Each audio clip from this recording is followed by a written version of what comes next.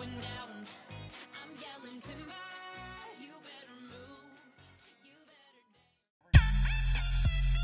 Yo, my dudes, who's ready for fantasy football season, huh? Oh man, I'm ready to just get virtual with it. I'll beat you though. I'll beat you. Yeah, you're scared. Whatever.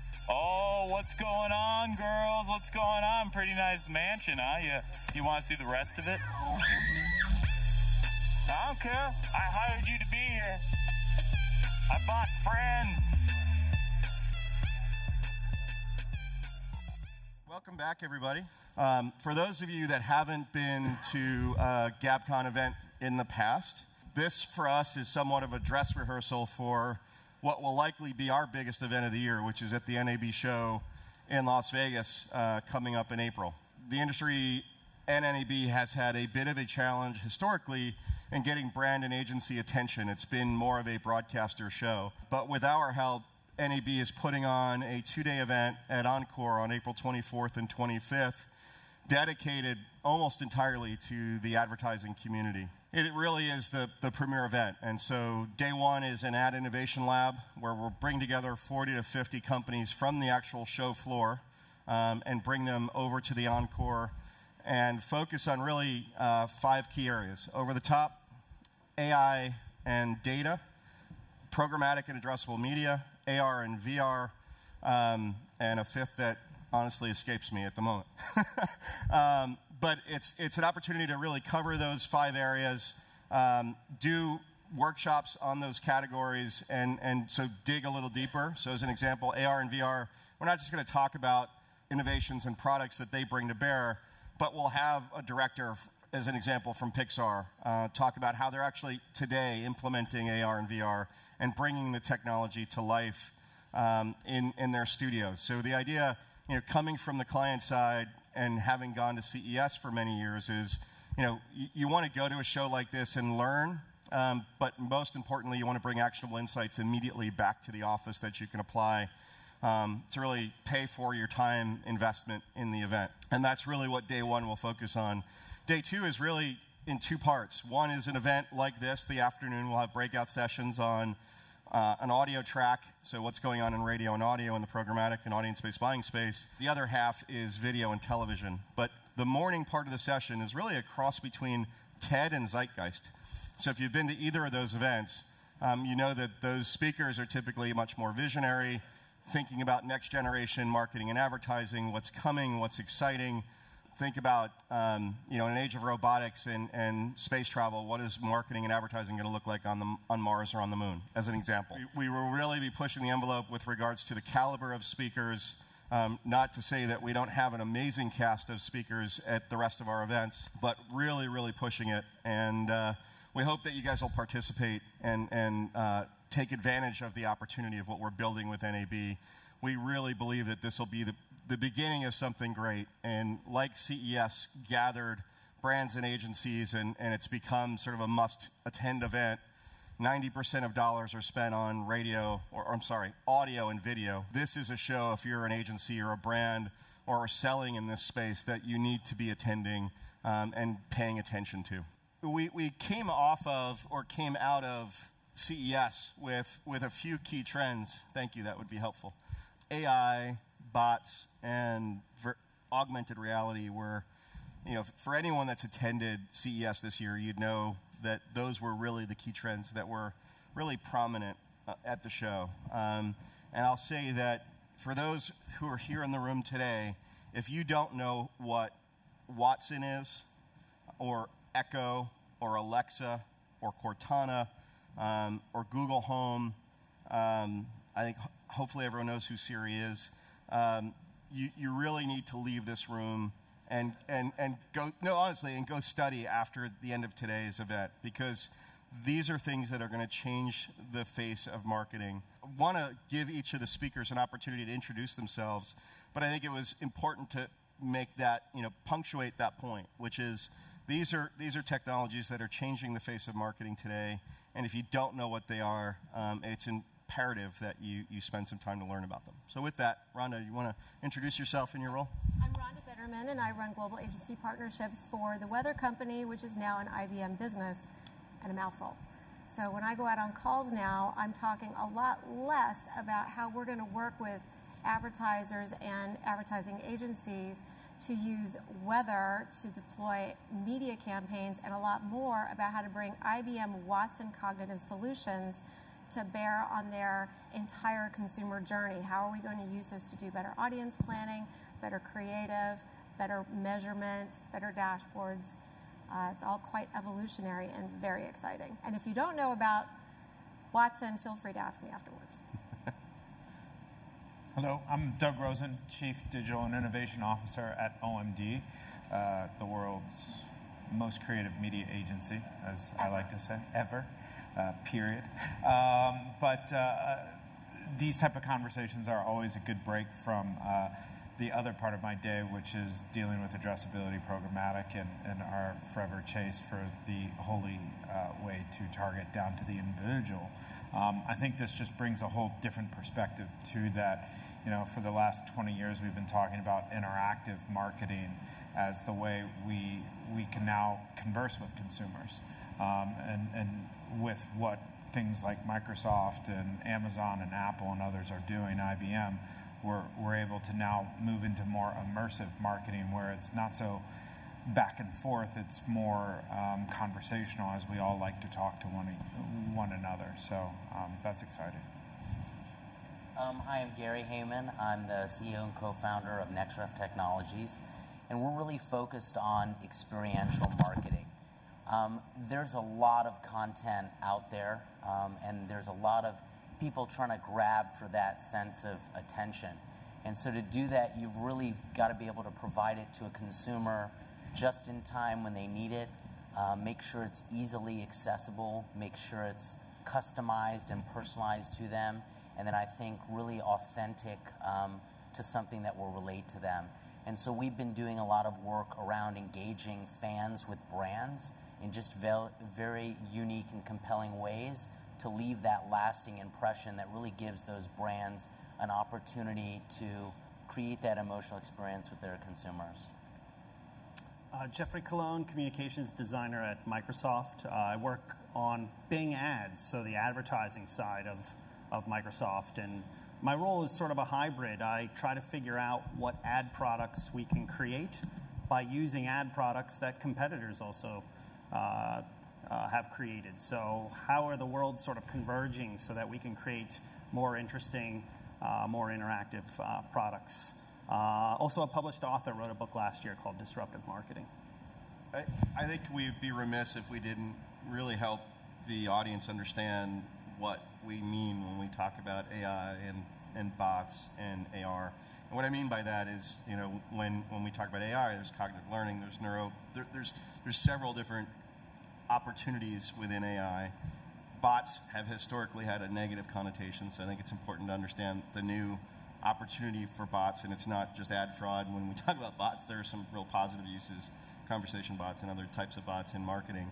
So it, uh, why don't we start with, with AI and, and maybe Rhonda and Jeff, you guys can help us understand the differences between the different types of AI to frame the rest of the conversation.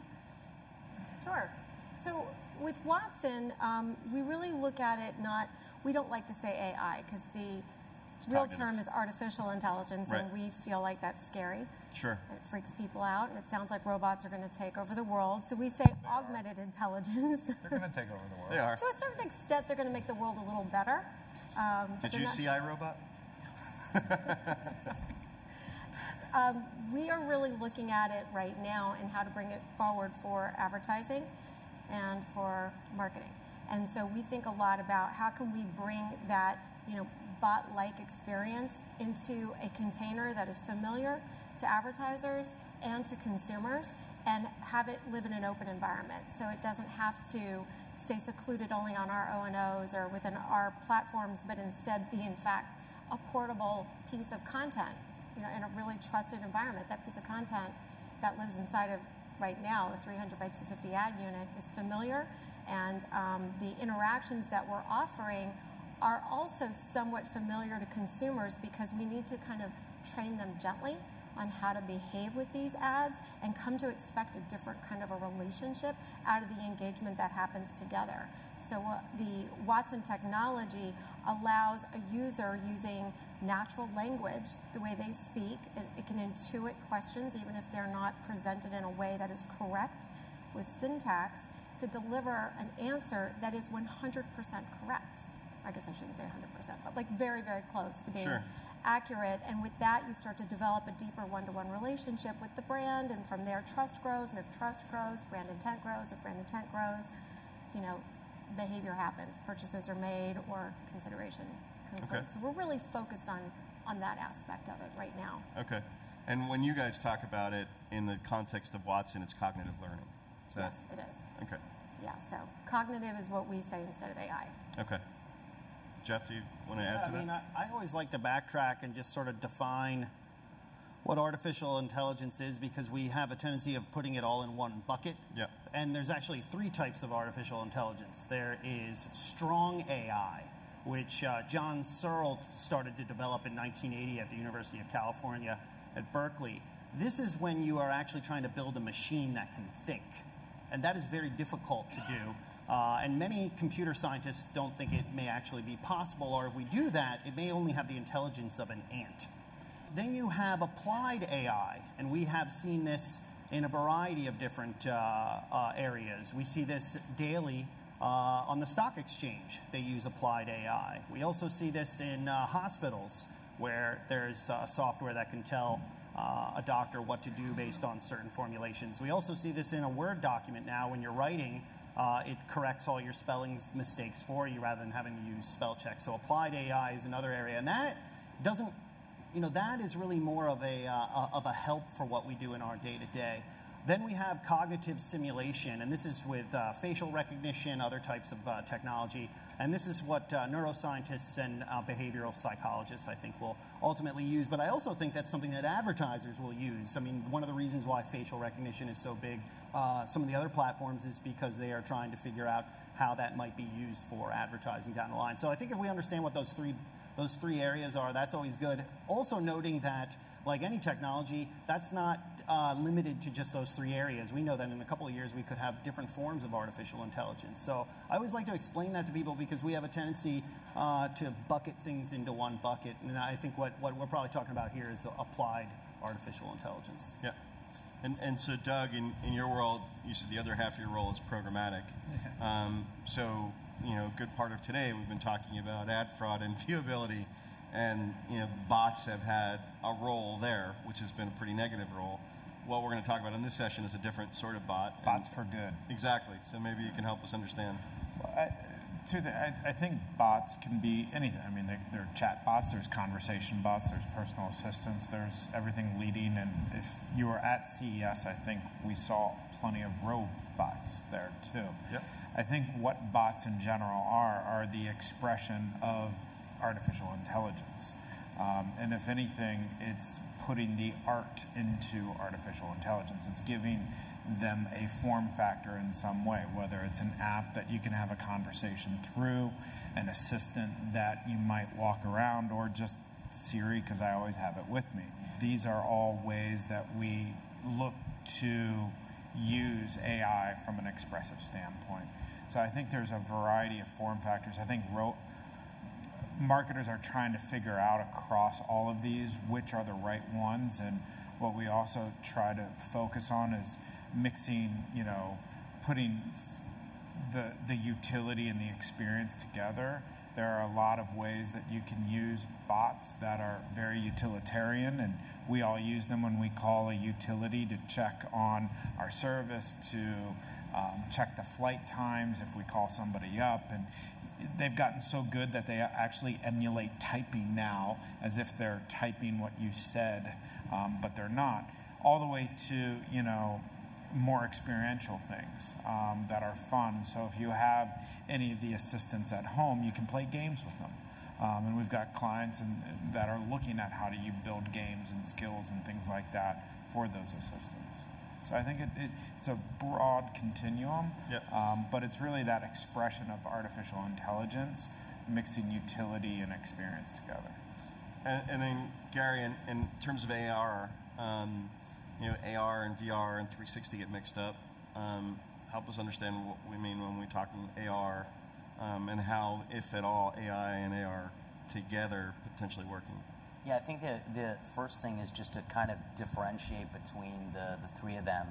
Um, augmented reality, probably everybody in this room has been viewing for about 10 years. The easiest example is the yellow line on your screen when you're watching a football down football game that shows the first down. Yep. That's layering animation on top of content.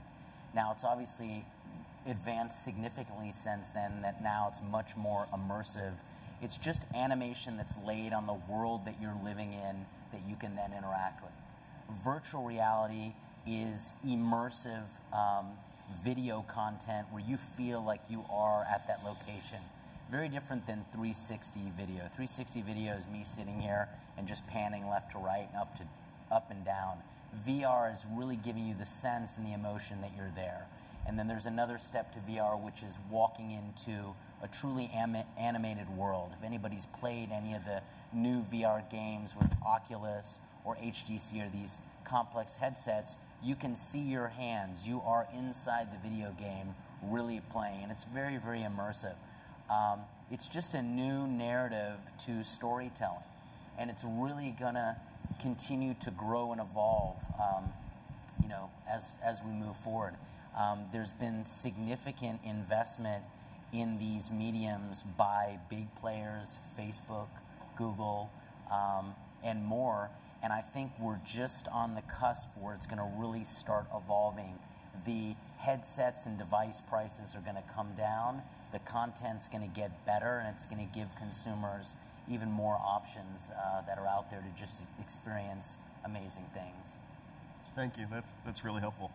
My, my frame of reference for AI has, and, I half jokingly said iRobot, but that, that really had been my reference for some period of time. And then obviously, as you start to use Siri and people start talking about Alexa and Google Home, I'm like, wow, I'm in this space. I better go get those things and learn about them. Real quick, how many people have an Alexa? I was just Google that's- Home? thank you for doing that. That's where I was going. I'm always curious. So about half the room. How many 50 people have Google Home? Very few. I mean, Okay. they're fifty dollars. Go order one. We all do well enough to be here. Just go order one. Have it at your home. What, whichever one you want, it doesn't matter. But you got. That's the first way we all get into this stuff. Is just go buy one. Nothing's stopping any of you of doing that. That that to me is the most important thing. If we're in a room of marketers and brand leaders, like, and half the room has it, it's hard for us to continue to do what we do without general adoption. Full disclosure, I'm not an Amazon stockholder, but I highly recommend Alexa over Google Home today.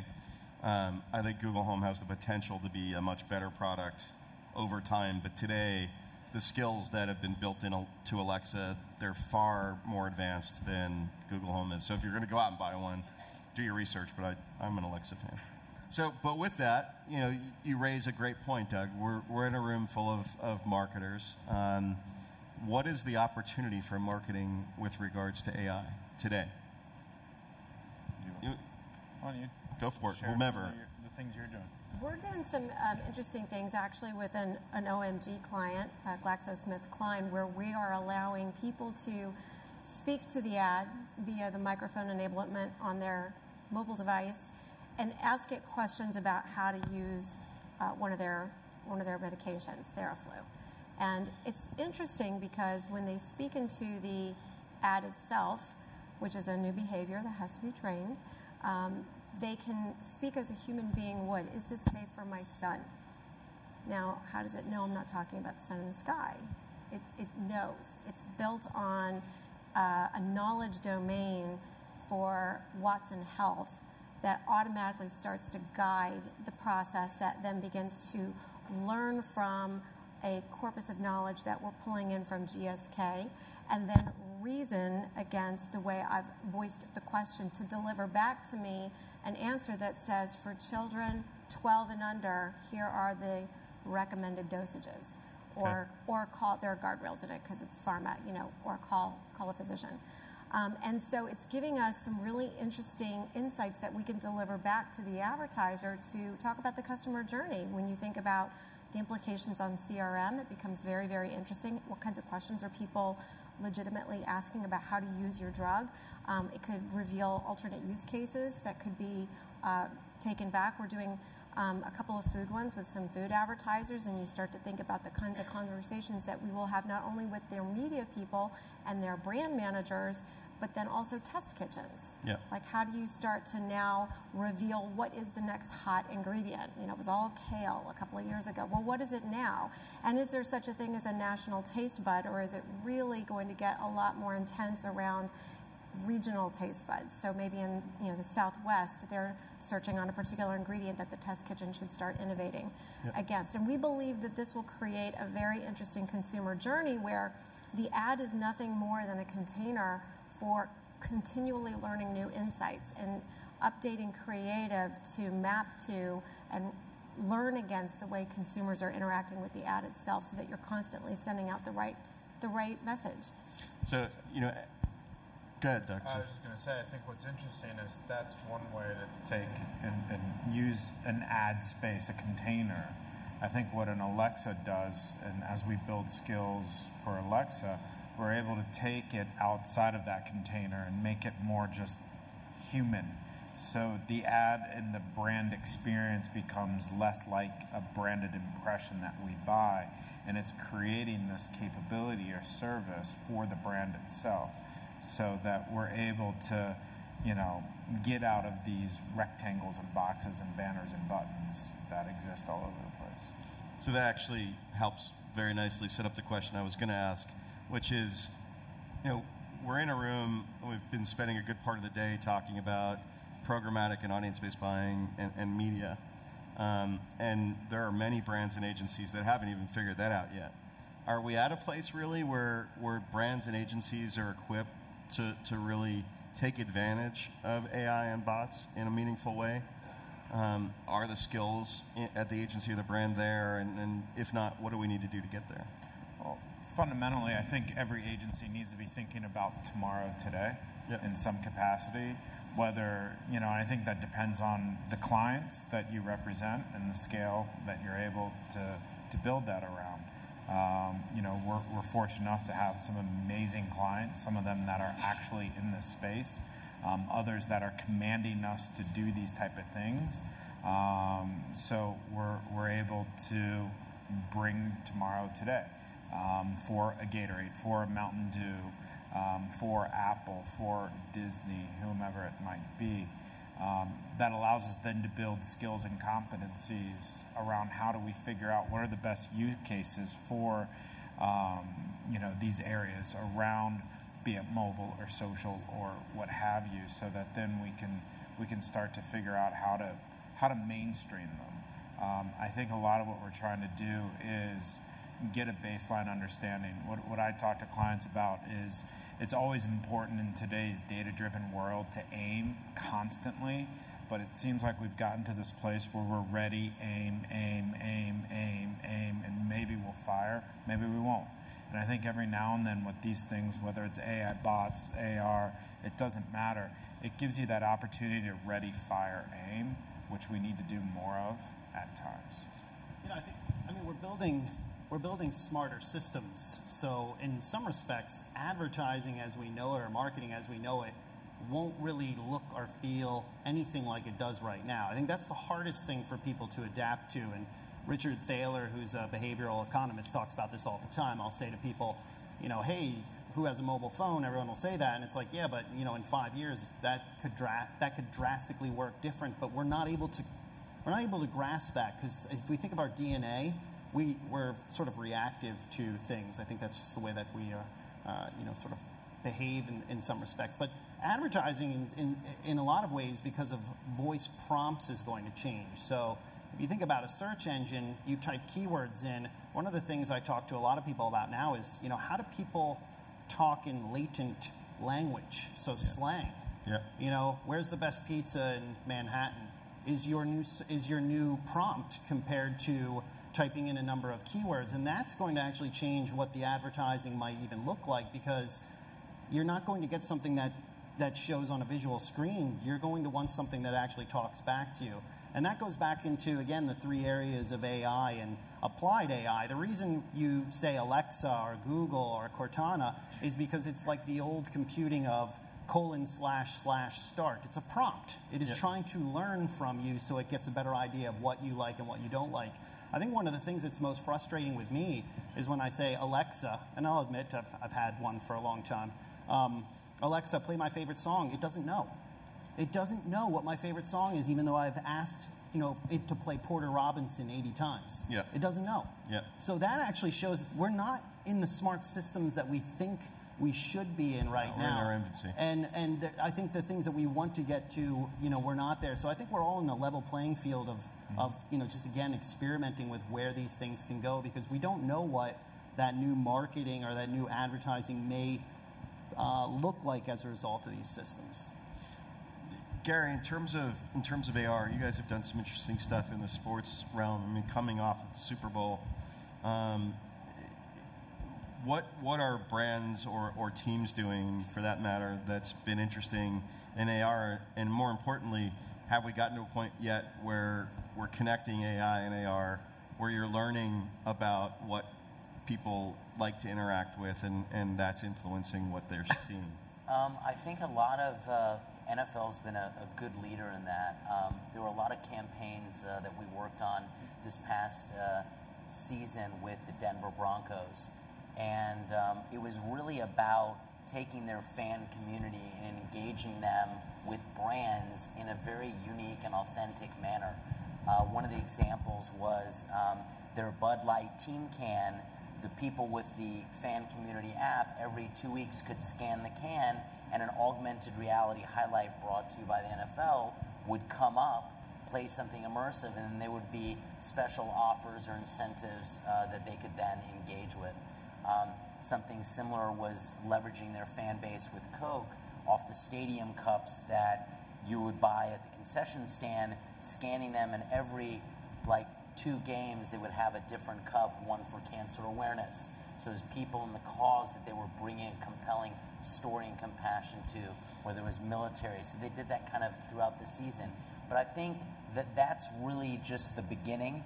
They're really moving it into, and now just transferring onto the virtual reality side.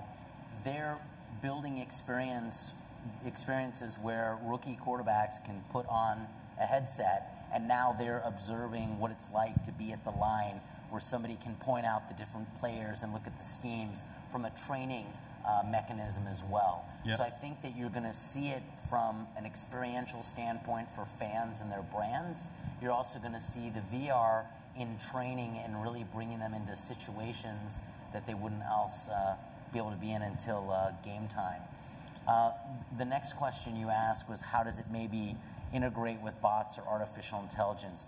I think that we just, on the augmented reality side, we need more data points. I think when there's more data points of actual usable data where AR has already been out there in the world and it can correlate and talk with you know APIs like Watson's, uh, which has incredible data points, that's when you're going to see the correlation and then you can build automation around some of those things. Yeah, I mean, it's just because I have a team can doesn't mean I'm a fan of that team necessarily. Someone could have just given me that beer. Or for that matter, just because I'm at the stadium watching the Broncos doesn't mean I'm a Broncos fan. So when you can start to tie some, some AI or, or artificial intelligence learning into that to say, okay, we actually know who your favorite team is, and although you're holding a Jets can, you're actually, you know, a, a Chargers fan, right? Um, there, there's a way to connect the two, and, and the experience ideally would change in that case, right? Yeah, I think definitely, and that's when you just stay with the personalized.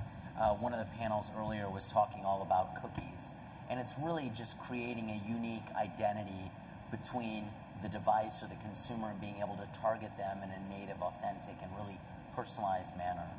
Yeah. Okay. Hey, we th- this session time flew past very very quickly, but I, this is an important question, and I want to dig into it. If we go over here a little bit, we'll go over it, um, and hopefully these guys can stick around for some other questions afterwards. Um, but today, nearly all form factors or, or media platforms target audiences. Um, with the advent of AI and bots, um, do marketers near, need to now start to think about targeting robots? And what does that really mean? Absolutely. I think that's one of the key conclusions we walked away from um, CES with across, you know, all of our um, activities there is we spend all of our time and energy marketing people.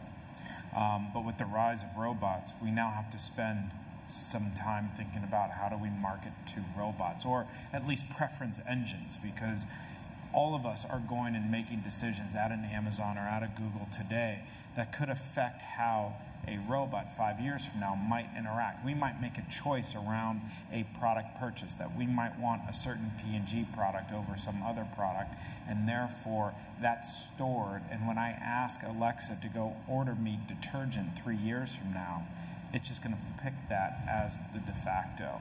So I think as advertisers, we need to think about what is the role of these middle men or middle women or middle things um, and how do we have to break through them as much as the end consumer ultimately to change preferences already established? Jeff, do you, I or think, Ron, if, you've been, I think if you have ever gamed, who's ever gamed an algorithm here in their life? I won't tell on your boss. Yeah, if you've ever gamed an algorithm, you've, you've gamed a machine. So I think that's, uh, so we're just moving into a world that's, it's going to be almost like on steroids uh, to try to game, you know, some of these algorithms to see how you break through. Um, because whenever you put rules or limitations, again, as humans, we try to break those rules and limitations. So. And that's what great marketing is, is breaking through, like Yeah. trying to break conventions. I mean, right. half, half of the success of a Super Bowl is not just buying the ad, but what you do, What you do with be, it. be around it. And, and actually, those who don't even buy an ad, but actually have tremendous success because they did it. So I, I, I think all of this is moving us to a hacker's mentality to some extent. How do you hack your media plans to think about this um, as much as anything? Yeah, I mean, I think we saw it even just this past year, and you know, five to one bots in the election in terms of you know how, who that strategy there. I don't, I don't think that's been written a lot about, but I wish more people actually looked at it to see how that bot strategy was used, how people sort of gamed algorithms. And that's that's a great point that I'll I'll close with, which is we actually closed the day today with um, Cambridge Analytica talking about how they've used um, AI and data and targeting um, more broadly to help achieve the outcome that they did uh, with this year's election. Um, the session certainly won't get political, but it, it, does raise some of those points with regards to how we can use some of these new technologies. And thank you all very much for joining us. Oh,